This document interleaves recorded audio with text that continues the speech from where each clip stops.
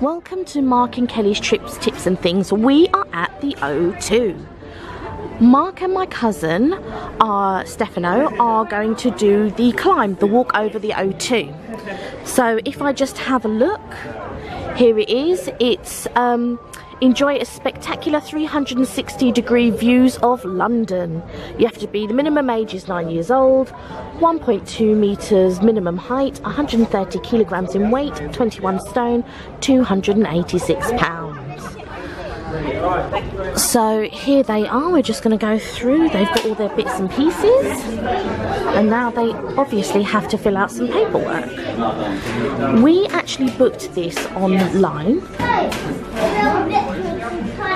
We booked the slot, 3.15 online. Now the funny thing is, both my cousin Steph and Mark have vertigo.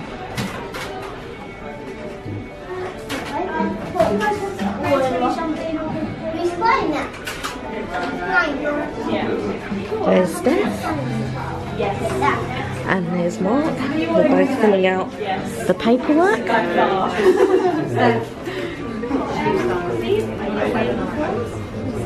So basically, when you come to do the walk, you have to wear the harness and you also have to have uh, certain types of shoes that they provide you.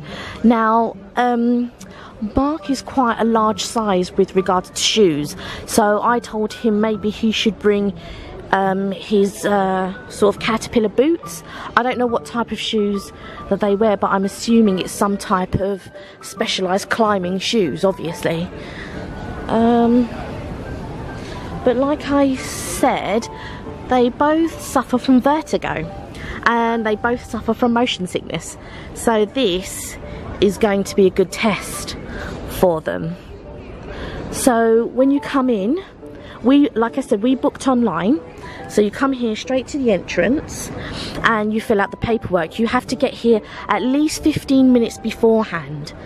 Uh, to, to fill out the paperwork and I assume when they put you in the harness and everything you have a bit of a chat and they sort of talk to you about certain things and everything else and here I assume is where they go up the steps ready to start their journey now while they do that um, Joe and I, uh, Steph's wife, have decided that we might do the cable cars, which are also here. They used to be called the Emirates cable cars. I don't know if it's still called the Emirates cable cars, but yes, we will do the cable cars.